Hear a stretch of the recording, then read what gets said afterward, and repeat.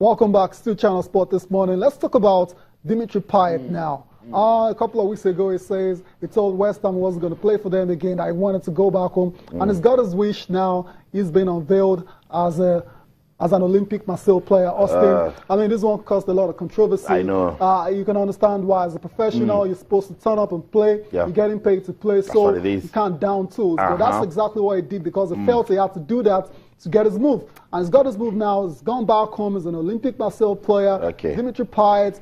For me, I know. I'm not too. Same here. I'm not too. You struggle um, for the words, right? Yeah. I mean, the show of character yeah. was poor. Yes, yeah. I, I agree. Yes. It's difficult, you know, but because you're supposed to be a professional, you're a role model. Yes. Kids are watching, you know. And um, if you treat West yes. Ham like this, who says you can't do West to Marseille again? Yeah, it is a bit tricky. The, why, the reason I say that is because, okay, um, you know, we players have different reasons for wanting to move. Okay. This is very personal. His family not enjoying life in London, according to reports. Mm. He wanted to go back home. Mm. There was a bid from Olympic Marseille.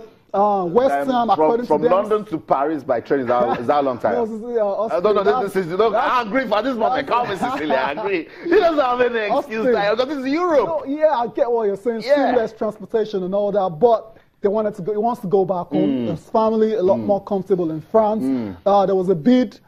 West Ham felt, okay, that doesn't match the evaluation of the player. Yeah. And that's where everything just went right. That's where everything went, you know, uh, bad because um, -hmm. Dimitri Payet felt was being um, was being priced out of a move uh, because I mean they bought him for about 10 million pounds yeah. and, and uh, Olympic Marseille came with something a lot higher and well, West Ham felt um, that money is not good enough. But eventually, it's good to see that the deal has been done. Mm. Now, eventually, they agreed on 25 million pounds. pounds. So that's 15 million pounds profits yeah. made by West Ham. That's right. I think it's a win-win situation. Everyone can just go uh, happy now. Uh, uh, Dimitri Payet can uh, go yeah. happy in France. Okay. And West Ham can pocket the money. They pocket the money and use it to buy a replacement. and the damage he has done to the reputation of the club. You don't put your, you don't put a club in a bad light. Tell what about the foul languages that we're seeing on social media? Mm. What about the obstinacy showed to his manager. Slaven Bilic mm. is the leader. He should be able to talk to you. What about the other guys that are looking up to Payet and the team? I totally agree with you. Know, you don't I'm leave not... a club like that. Will he do that to Alex Ferguson? Austin. Will he do that to Jose Mourinho? I'm not... Will he do that to Carlo Ancelotti? I mean, players do all ah, sorts, man. You never can predict some, players. There are some coaches they... that you do this with its end of your career. Nah. They are so connected with yeah. the transfer market, that he will be going to Nice. Austin. Nice. Austin, remember, uh, first and foremost, it's the business, okay? okay. And you, you, can talk about Nice, you can talk about uh, end of career. Uh, At the end of the day, West Ham or any other club out there, they need to make money. Mm. And if they have to sell okay. uh, a player that has been uh, very difficult, mm. then so be it. Yes, and that's exactly what has happened. Don't keep an aggrieved player. Don't do that. But yeah, but yes. some way, somehow, someday, West Ham gets into the Champions League. I'm wishing Payet well now. Yeah. And Marseille gets into it, and he comes to Olympic Stadium to play. I want to end this talk about Payet. Uh, let's quote what the West Ham co-owner okay. David Sullivan said. He said he accused the player of lacking respect. That's spot on. I mean, when you refuse to train, when you refuse to want to play for a club that is okay. paying your wages, okay. then that's a total lack of respect. And I'm not, I'm not condoning that at yes.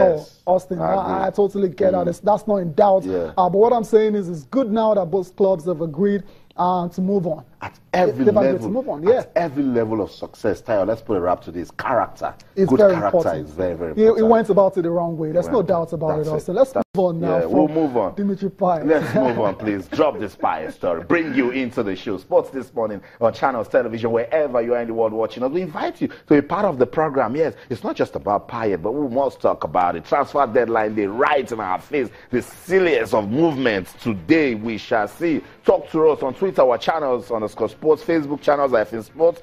You can send us an email to sports this morning at channelstv.com. We love talking sports right here. We call it the Sports Center. Talk to us in the hashtag this morning. We will not keep quiet on our own football, the Nigeria Professional Football League. What a story we are having after match day five. Guess the team that is still unbeaten. It's Plateau United. Do you know who the coach is? Kennedy Boboye. What is he doing that when he gets into a club, the first 10 games, They will be admirable. We want to know this morning on the program. Walk with us. Hashtag NPFL. Hashtag Super Bowl. Tayo told you Super Bowl 51. We're getting ready. Pressure on Tom Brady. Can he deliver with his team? We'll continue to monitor that situation right here on the program. You want to talk about Dimitri Payet? Let's let's let's have your input. Did he treat West Ham the right way? Is it a win-win situation for um, and West Ham? It's a sporting discussion. Let's have it right here on the program basketball in Nigeria. After the AGM in Abuja, the Nigeria Basketball Federation they disclosed that they are going to be having 12 million US dollars. I started trying to get that one right. 12 million US dollars in five years. And the president, Tijani Umar, says every year, $2.1 million will be put into the NBBF to make basketball in Nigeria admirable. We love it. But we've said there must be credibility to this deal and accountability. We're monitoring all that is happening right there. 2017 AFCON. Talk to the hashtag AFCON. It's Burkina Faso taking on Egypt and West African clash between Cameroon and Ghana. What a story we're having at the AFCON.